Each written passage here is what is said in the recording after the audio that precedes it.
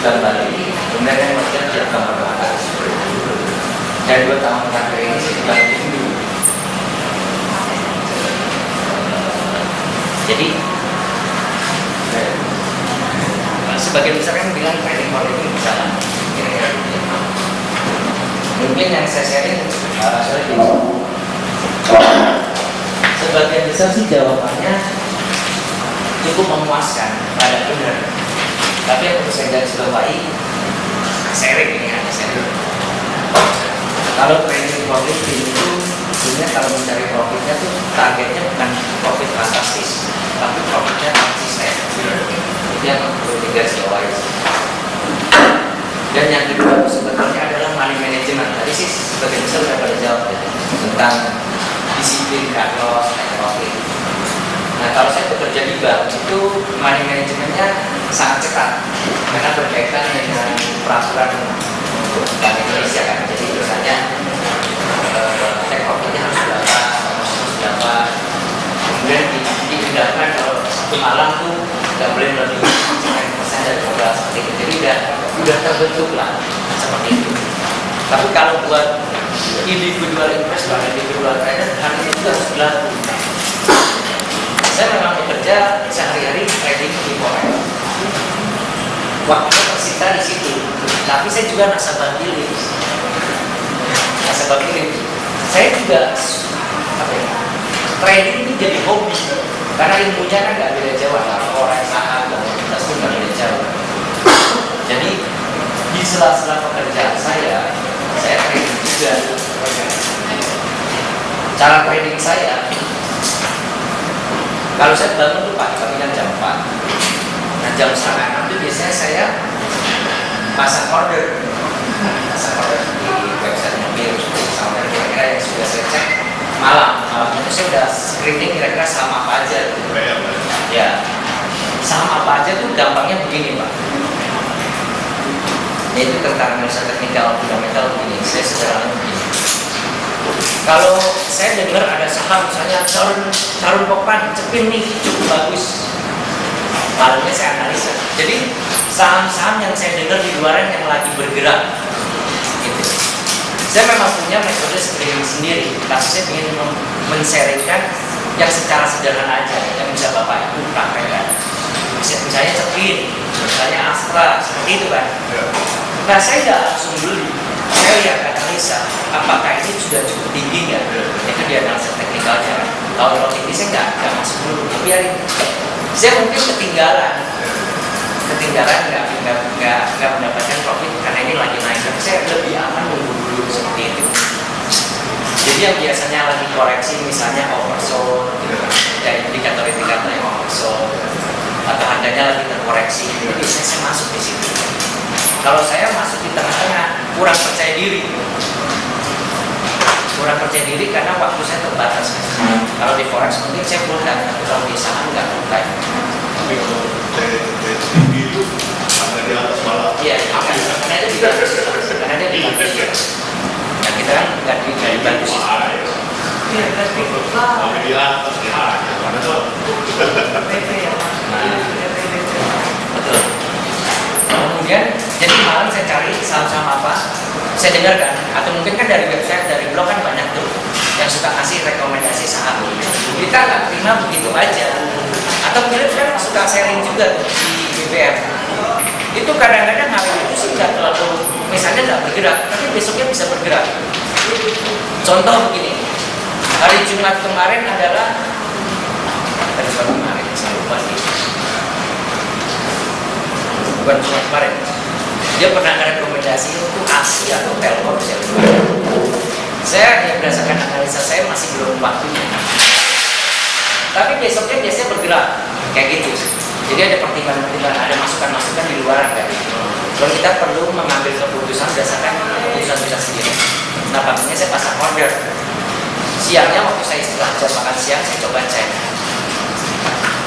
Kan bapak ibu punya cat nah saya cek apakah e, menemui support atau enggak kita secara ekonominya gimana dan mendukung enggak kalau koreksi-koreksi biasa gitu kayak Jumat kemarin saya diemin aja satu hal lagi juga karena saya Makanya saya mau garis bawah ini trading, trading dan investor pemahaman itu dulu. Apa? Ada kesalahan tentang pemahaman trader dan investor. Orang bilang kalau trader, kalau investor itu jangka panjang, kalau trader itu buat jangka pendek, kurang tepat. Saya mau meluruskan pendapat itu kurang tepat. Karena trader sendiri itu sebenarnya dibagi menjadi empat. Kalau yang dalam satu hari beberapa menit itu trading itu namanya scalping. Scalper, scalping pernah dengar ya? Jadi satu hari itu bolak balik ke sana loncat sini. Ya, scalping. Kemudian yang kedua itu swing. Swing itu biasanya dua tiga hari, bahkan seminggu. Nah saya sebenarnya tipe swing. Saya tipe swing. Kita perlu mengenali diri kita. Saya tipe swing. Jadi kadang-kadang dua tiga hari. Apalagi keterbatasan waktu saya di sana. Saya ketiga saya berada lupa yang keempat tuh trader fundamental. Nah trader fundamental ini sebetulnya yang banyak orang sebut itu investor. Trader fundamental itu dia menganalisa fundamentalnya. Kemudian dia bisa sebulan, dua bulan, bisa setahun. Jadi investor dan trader itu perbedaannya bukan dilihat dari jangka waktu investasinya. Saya coba memberikan pemahaman yang baru, yang lain trader dan investor trader kan tadi bisa juga jangka panjang tadi trader fundamental tadi ya sebetulnya kalau trader itu mengambil dari capital gain selisih selisih jual beli. Trader itu cenderung gitu. Kalau investor itu cenderungnya adalah dividen. Jadi apa ya istilahnya? Pertambahan kekayaannya.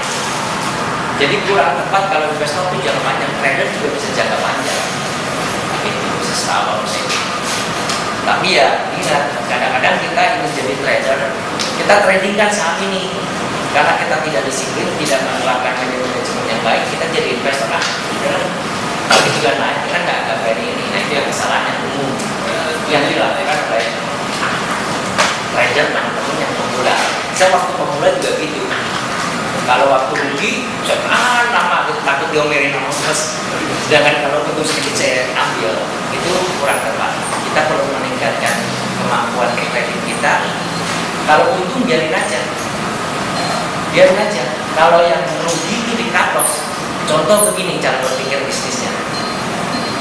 Kalau saya jual makanan jual makanan makanan yang laku pasti saya tambah dong. Oh ini laku nih saya tambah.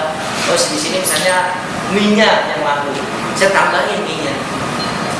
Tapi kalau yang kurang laku nih kayaknya aduh sehari ini pasti saya cut loss secara logis saya ingin sederhanakan seperti itu supaya bapak ibu itu mendengar loss itu sesuatu yang sederhana. Nah saya coba sharing tentang teknik penempatan loss sebelum saya jawab ini saya mau sharing pertama kalau ada beberapa teknik penempatan stop loss itu sebut saja ada tiga. Pertama itu berdasarkan modal. Kalau yang baru sebaiknya modal. Misalnya begini ini bapak ibu bisa terapkan yaitu 2% dari penurunan modal. Ketika bapak ibu beli di 1500 kemudian turun di 1470 2 persennya. Ya bapak atos berani 2 persen. Daripada ketika bapak cut loss kan dulu makin dulu ya. Sampai berapa nih? Makin jadi akhirnya nggak bisa trading yang lain. Nggak bisa investasi di, di aset yang lain. Mengganggu nggak apa-apa nah itu bisa belajar. Nggak cut loss ternyata naik lagi. Itu kita sudah bisa tahu kapan masuknya itu bisa dipelajari. John itu kalau John saya nggak sering yang saya pentingkan pertama 2% kalau 2% berarti ambil untungnya minimal 5% gitu. tapi nggak mesti dipatokin 5% oke? Okay? Oke, kemudian yang kedua adalah teknik penempatan stop loss berdasarkan technical analysis, yaitu support dan resistance. Saham ada sama beda. Saya sama. Saham ada paling mudah berapa? Seribu seratus. Ini ada seribu, sekarang seribu seratus lima puluh. Berarti katakanlah support. Ketika menembus itu kita cut loss istilahnya begitu 1100 sederhana, tapi perlu dilihat support dan semakin kuat kalau dia diuji beberapa kali dan kuat itu berarti cukup kuat. Sebetulnya lebih aman memang support dan resistance. Saya juga menggunakan support dan resistance sebagai penempatan stop loss saya. Tapi biasanya kerugiannya itu lebih besar, lebih lebar. Saya lebih menyarankan 2 persen enggak. Kemudian yang ketiga terkait penempatan stop loss berdasarkan waktu. Berdasarkan waktu. Ini biasanya bagus buat orang-orang yang sudah menggunakan call. Jadi ketika ini dengar di radio ini analisa ini bagus nih. Misalnya apa ya? Mungkin sentul misalnya. Ternyata naik juga seminggu, dua minggu sekarang ini yang lain pada naik, naik. Untuk berhasil, trader yang berhasil itu Bapak Ibu banyakkan piramid, segitiga piramid. Yang paling bawah itu yang paling besar. Yang paling besar itu sebetulnya mindset. Seorang trader yang berhasil itu mindset. Minimal Bapak Ibu punya pemikiran bahwa trading politik adalah mungkin. Yang kedua adalah money management, loss kedua. Kira-kira 60% itu mindset. Sedangkan 30% itu money management. 35 porsi kecilnya itu 15 persennya metode strategi tapi banyak trading banyak orang banyak buku mengajarkan strategi technical analysis fundamental analysis salah contoh begini secara sederhana. Bapak ibu ikut seminar lokakarya trading bisnis. Benar cara-caranya cara baca laporan strategi strateginya ya. Tapi belum tentu berhasil kenapa mindsetnya mentalnya. Pasti bapak ibu setuju mentalnya.